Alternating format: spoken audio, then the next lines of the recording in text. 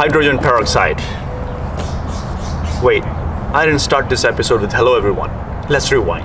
Hello everyone, this is Jag and in this episode I'm going to cover everything you need to know about hydrogen peroxide and it's very beneficial to your garden and to your plants. So I'm kind of in an awkward position here because my plants are dying. I planted peas and the leaves are turning brown. They're not just yellow. I have a separate video about leaves turning yellow and how to fix those. But this is just plant just dying, like it's suffocating.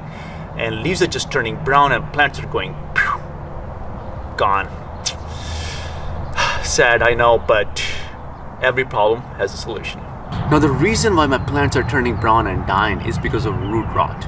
And root rot is caused by fungi and bacteria in the soil. It's also caused by excessive moisture in the soil. If plants are overwatered and there's a lot of stagnant water in the soil, it prevents plants from taking in oxygen through the roots, which causes plants to suffocate. So what's to the rescue? Hydrogen peroxide. It not only kills the bacteria and fungi in the soil, it also restores the oxygen balance in the soil as well.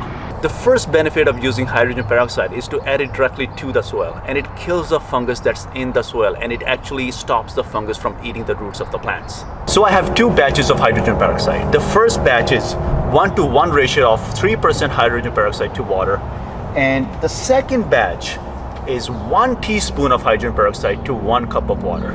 Why? Well, this is going to be on the foliage and this one is going to go right into the soil all around the plants. It's not going to touch any of the foliage because it might burn the leaves. So let me add this solution to the root of the plants without touching any of the foliage. Be careful not to touch the foliage. This is very important because your leaves will burn. Hydrogen peroxide will kill the fungus and hopefully save my plants. The second benefit of using hydrogen peroxide is to spray the foliage of your plants with the diluted solution of hydrogen peroxide. And this will protect your plants from pests, bugs, and ants. Hydrogen peroxide is made up of same elements as water. Water is H2O, hydrogen peroxide is H2O2. That extra element of oxygen gives the hydrogen peroxide its third beneficial property, which is rigorous plant growth. How does it happen? When hydrogen peroxide is added directly to the soil, it enables the roots of the plants to absorb more nutrients because of the extra oxygen element.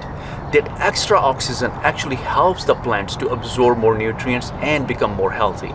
The fourth benefit of using hydrogen peroxide is to pre-treat the seeds before planting. This will prevent the seeds from root rot and also protect the seeds from diseases. To do so, briefly soak the seeds in hydrogen peroxide, rinse and plant. The fifth benefit of hydrogen peroxide is to disinfect any planting containers, especially if you're using planting containers from last year or previous growing. You can also disinfect the growing medium by using 1 to 1 ratio of 3% hydrogen peroxide to water. This method not only disinfects the growing medium, but it also helps the plant grow faster and healthier. When hydrogen peroxide breaks down and decomposes, there are only two byproducts, water and oxygen. This extra oxygen helps the plants to grow bigger roots and become stronger. Hydrogen peroxide is approved by EPA to be used outdoors. I really hope you enjoyed these 5 benefits of using hydrogen peroxide in your garden and on your plants. And if you like this video and found this video informative, hit the subscribe button and I will surely see you in another video.